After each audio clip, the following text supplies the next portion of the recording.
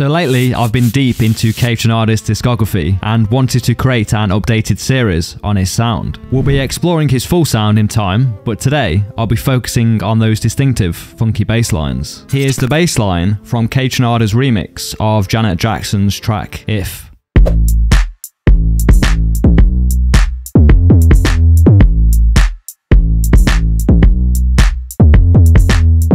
Drums in this project are from my Kaytranada sample library, available on Samples by Vanity. I have a handful of observations about this melody. The note A acts as the root or foundational note. The other notes in the melody revolve around this pitch, providing a stable anchor for the bass line. For about 75% of the bass line, alternates between just two notes. These two note patterns are often followed by another set of two note patterns, creating a consistent stepwise motion. The bass line frequently moves in a stepwise motion where the interval between consecutive notes is no more than a step. Kaytranada introduces larger interval jumps, such as moving from B to D or E to G. These larger leaps add variety and break up the repetition of the stepwise patterns, making the bass line more engaging. These interval jumps have the secondary purpose of acting as bridges between the stepwise motion phrases, providing a sense of progression and development. The combination of simple repetitive two-note patterns and unexpected larger interval jumps creates a balance of predictability and surprise, which is key to the bassline's captivating groove. Here's the bassline with these jumps removed.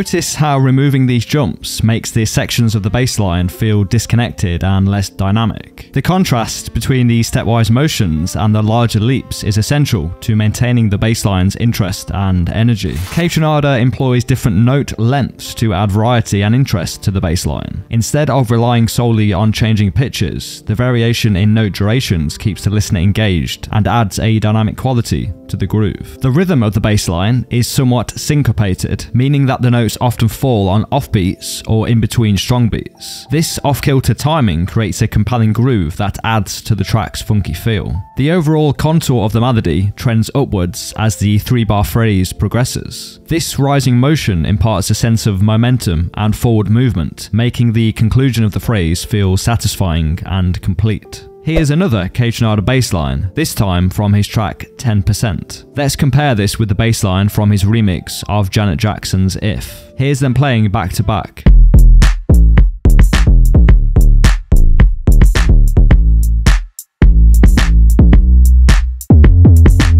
For a clearer comparison, I've transposed the remix bassline down an octave to align them visually. Several similarities become apparent. Both bass lines cover a similar note range. The lowest note in both tracks is A. The highest note in 10% is G, while in the If remix, it's A. The 10% bass line spans a full octave, whereas the If bass line occupies one note in the scale less. They're also both in the same key, which wasn't intentional on my part, but showcases Kaytranada's focus on simplicity. The 10% bass line consists of just three notes. Kaytranada uses note length to create a variation and maintain interest, rather than relying on a wide array of pitches. In contrast, the If remix bassline utilizes six different notes, but as already mentioned, for 75% of the melody, Kaytranada alternates between just two notes. In both cases, it's the variation in note lengths that truly defines the groove. This reinforces the idea that a minimalistic approach to note selection, combined with creative rhythmic patterns, are a key ingredient in Kaytranada's sound. The 10% bassline features two distinct sections, each composed of two note patterns with an an additional note introduced for variation. These additional notes are a mirrored flip of the main pattern, providing a sense of symmetry and cohesion.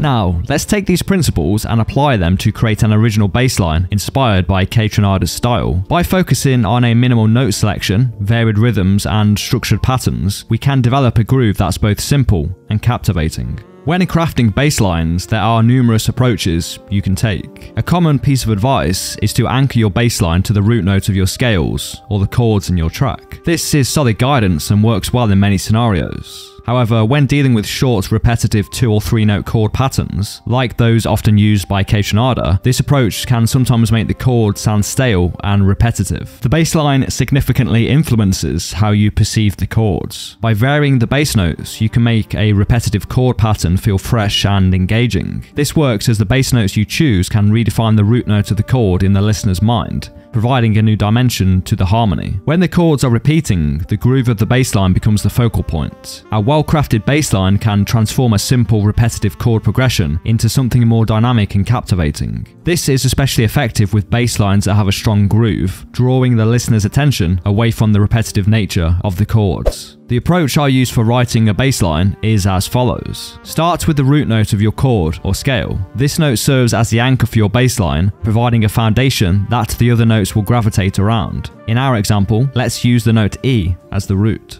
Stacking perfect fifths, intervals of seven semitones, is a common technique to add harmonic richness and structure. From the root note, E, the perfect fifth would be B. Stacking another on top would be G. Simply stacking fifths can sound too rigid or sparse. To make the bass line more interesting, incorporate smaller melodic fragments that connect these larger intervals. The octave is a simple yet powerful tool in bassline construction. Using octaves can add depth and variety to your bassline while maintaining a strong tonal center. In my melody, 11 of the 12 notes are either the root or a fifth interval. In terms of the movement, I've stuck to the guidance of not having more than three stepwise motions together, otherwise it can sound like you're playing a scale. I've aligned most of the notes to the grid, given that we're working with a 4 on the floor drum pattern. This alignment ensures that the bass line is tightly synchronized with the rhythm section, maintaining a steady groove. I have utilised elements of rhythmic anticipation, shifting two notes just after the expected beat, adding a touch of surprise and momentum.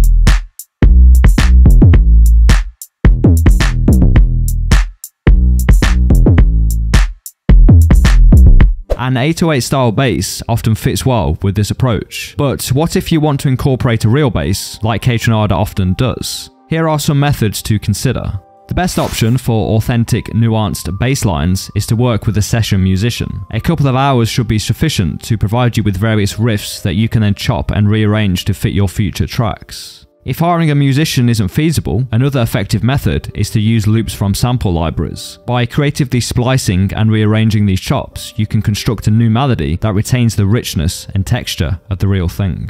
If neither of these options sound appealing, then the third option is virtual instruments. While nothing can fully replace the sound of a real bass guitar, high quality sample libraries like those in Kontakt can come close. All of the tricks I just covered in writing for 808s can be applied equally as effectively here. I sometimes even write 808 patterns using a bass library in Kontakt to help refresh my ears.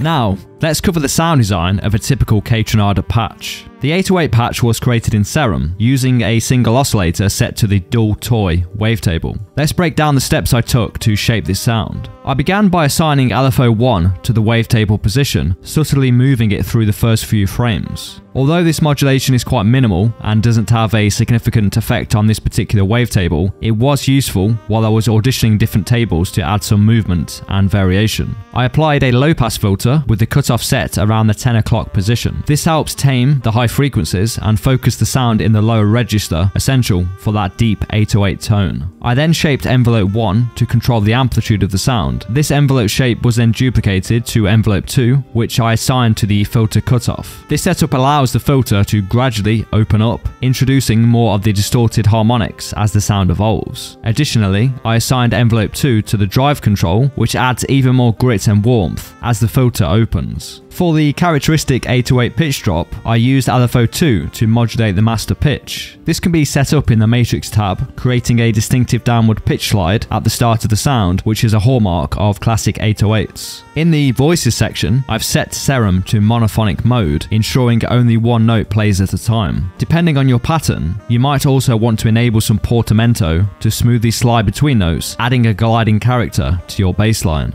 I finalised the sound with two effects, distortion to shape the tone of the 808, followed by the hyperdimension plugin to add width to the sound. While 808s are traditionally kept mono for a focused low end, Kaytranada often incorporates some stereo width into his 808s. An alternative approach is to use unison or a stereo widening tool.